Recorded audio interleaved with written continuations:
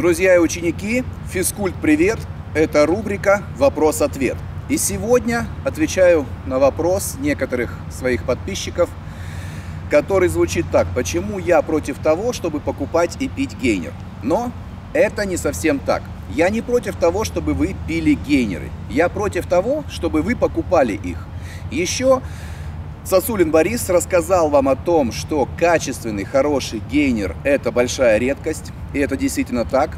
Проще на самом деле делать то, о чем говорю я. Покупать комплексный протеин. Это не изолет, это не вей, это не еще какой-то протеин, а именно комплексный. Что такое комплексный протеин? Это 4 как минимум белка, два из которых будут быстрыми, два из которых будут медленными. Вы убиваете кучу зайцев, покупая именно такой протеин. Показаться может, что он дороже, но на самом деле в перерасчете и если рассматривать все за и против, такой протеин гораздо дешевле. И добавив к такому протеину немножко овсянки вареной, а после тренировки, если вы будете пить такой протеин, добавить банан, получается идеальный гейнер – Перед тренировкой за полтора часа, конечно же, лучше будет добавить что-то из медленных углеводов. Но после тренировки нужно добавить быстрый углевод. Поэтому, друзья, пейте гейнеры, но только сделанные собственноручно на основе, все правильно, комплексного протеина. Один из лучших комплексных протеинов это от компании Optimum Nutrition. Поэтому я всем рекомендую покупать этот протеин, хотя они мне, к сожалению, за рекламу не платят. Кстати, меня часто спрашивают, где вы можете купить хорошие качественные стероиды, фармакологию. Я оставлю все ссылки под этим видео.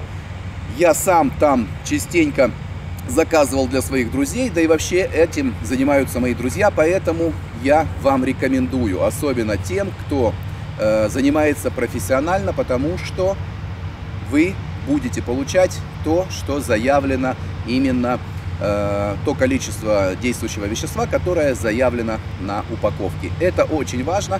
И, кстати, об этом будет тема следующего ролика, который будет называться «Дозировки фармакологии тогда и теперь». Очень интересная тема. Я ее не раз э, затрагивал в разговорах со своими учениками, теми, кто выступает и кто э, сидит на фармакологии, но в общие массы данный ролик не выходил, данная информация. Так что не пропустите те, кому это интересно. Но я еще хочу вас предупредить, что фармакология только для опытных спортсменов, только для тех, кто уже перевалил за 35-летний возраст как минимум. И, конечно же, для тех, у кого очень низкий уровень тестостерона. Это мы говорим только о мужчинах. Женщинам фармакология противопоказана. Даже если вы выступающая бикинистка, вы можете очень хорошо и качественно выступать, готовиться без какой-либо фармакологии, что и доказывают мои ученицы.